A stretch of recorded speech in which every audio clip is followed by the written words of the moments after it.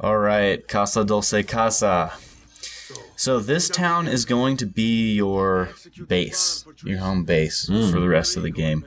Um, no one's gonna attack you here. Um, so I just was, you know, there's just some talking that I cut out. You're like following your uncle, so I cut that out. And now it's just telling you to go to the stores so you can see what the stores are like. Um, you'll stop at the blacksmith first, which is like your weapon store. Mhm. So you buy greaves and a dagger. You have just enough money to do that. I think your uncle gives you some money. Give him his money. Give him his money. So Okay, Malkovich.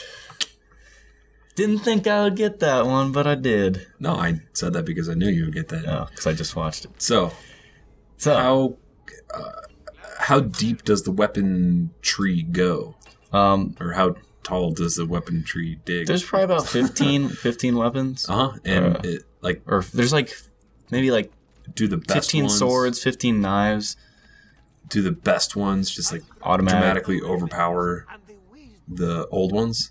No, I mean, it'll replace whatever your current one is with the best one you have. What I'm is saying nice. is like, I didn't notice a huge difference. do you need to upgrade weapons? You should. You should. Um, just because once later in this uh, part of the game, you'll get your like base set up, and then you start accumulating money for just like owning this city. Uh, So you just want to spend Like it when Fable. you can.